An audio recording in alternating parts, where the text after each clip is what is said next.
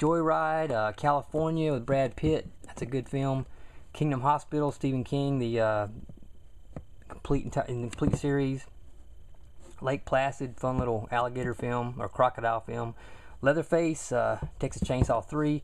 Legend of Hell House, that's a good creepy ghost story, kind of. Um, Leprechaun triple feature pack. The Mad Butcher, another one of these something weird titles, very bizarre. Uh, Man's Best Friend, uh, Misery, that's a classic. The Mothman Prophecies, that's kind of creepy actually, supposedly based on a true story.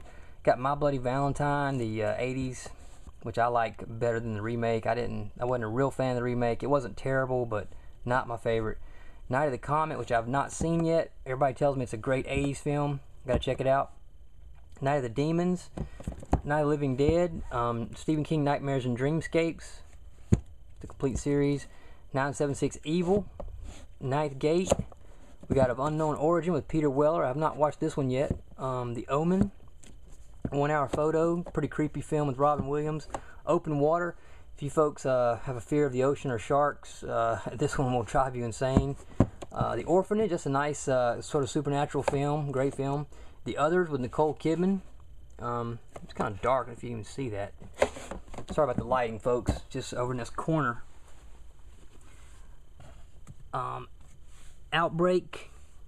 We got Outpost.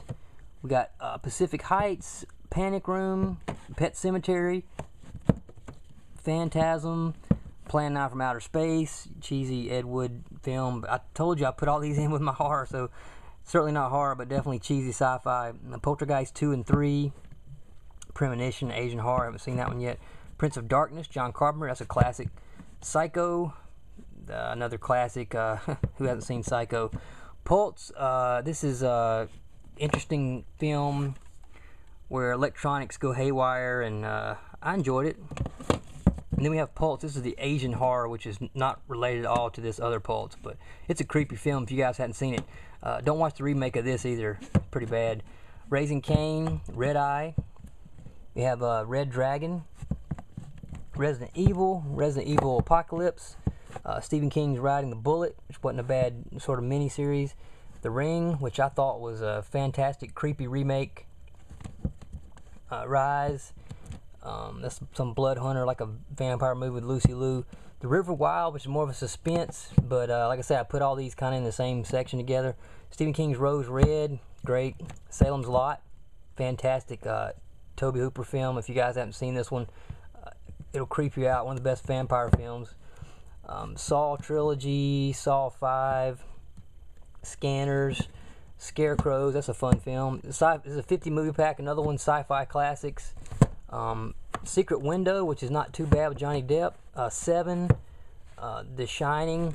That's classic. The Silence of the Lambs. Let's move up here, and we have Silver Bullet, which is a great one with uh, Corey Haim. Gary Busey. Uh, the Sixth Sense, uh, Sleepaway Camp, Sleepwalkers, very weird film. Um, Slither, Someone's Watching Me. It was a pretty suspenseful John Carpenter uh, made-for-TV film with Lauren Hutton. P- pretty good, definitely worth a look.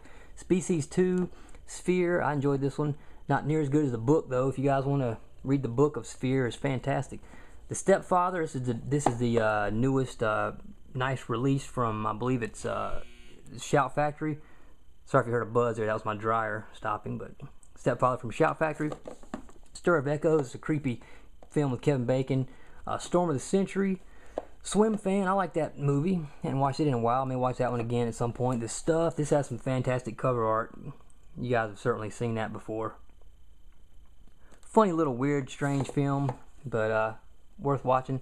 Taking Lives, um, A Tale of Two Sisters, creepy Asian horror definitely worth looking at. Terror Tunes, very bizarre film, but I had fun with it. Uh, Texas Chainsaw Massacre Steelbook. This is the one of the best editions to get. If you guys don't have this, uh, it's great, and this is certainly a classic film and one worthy of watching on Halloween. They Live, John Carpenter. John Carpenter's The Thing, phenomenal. 13 Ghosts. Uh, we have Three Extremes. It's Asian, has some weird stories on it. Uh, Tomie, which is another Asian film. I haven't seen this one. Tommyknockers, you have uh, Torture Garden, Tourist Trap, which is a nice little creepy kind of wax museum type film. You guys check out Tourist Trap if you haven't. 28 Days Later, uh, Undead, pretty cool zombie flick. Urban Legend, uh, Urban Legends Bloody Mary, which I haven't seen yet. Man, I'm losing light here. Sorry about that. Uh, v, the original miniseries. My light is fading. So you guys see this at all. Vacancy, nice suspenseful film with uh, Luke Wilson. Uh, you guys definitely check out Vacancy if you haven't seen it. It's really uh, unnerving or whatever.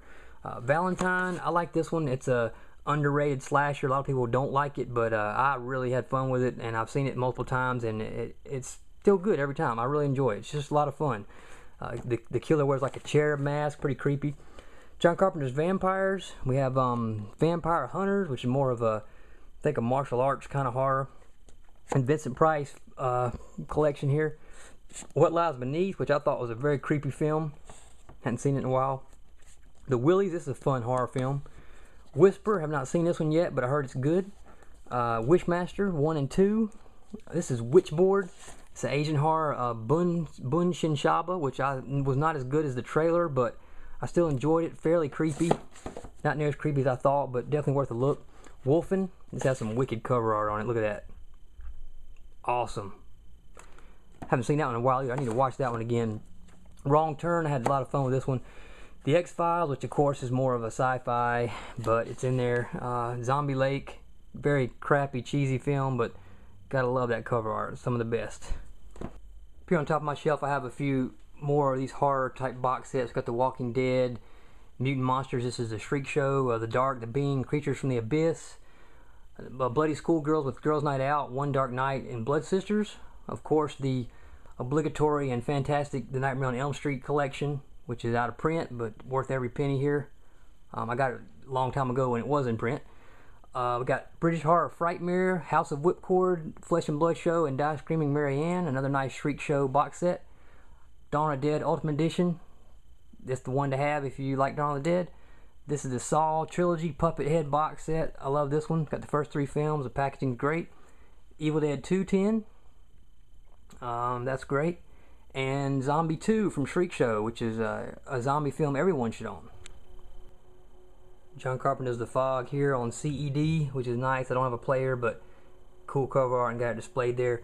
I'm going to jump through these Blu-rays right quick because my camera, I believe, is about to die. But we have American Psycho, American Werewolf in London, um, Army of Darkness. Um, we have um, Children of the Corn, Close Encounters of the Third Kind, which is kind of a sci-fi, obviously. You guys know that. Dawn of the Dead, the remake, which was great. Um, we have Freddy vs. Jason, Friday the 13th, the reimagining. It's not really a remake, but I enjoyed it, the reimagining. Uh, Friday the 13th Part 2 and Part 3, 3D. I don't know why I don't have the first one yet, but I, I do plan to pick that up. Um, Halloween, of course. Um, House of the Dead, which is a great throwback to these 80s slashers. The heart, the uh, cover art looks like the big box artwork. It's great. This was even released on VHS, but this is definitely worth a look if you have not, guys have not seen it. The House of the Devil, Lost Boys, um, Monster Squad, more of a horror comedy. Um, Near Dark, a nice vampire film from Kathryn Bigelow. We got Poltergeist, the Blue Book version, fantastic. Uh, the Shining, you guys got to see this on Blu-ray if you haven't. It looks phenomenal. The Silence of the Lambs, and John Carpenter's The Thing on Blu-ray and I believe if you want to count Zodiac, uh, that's that one.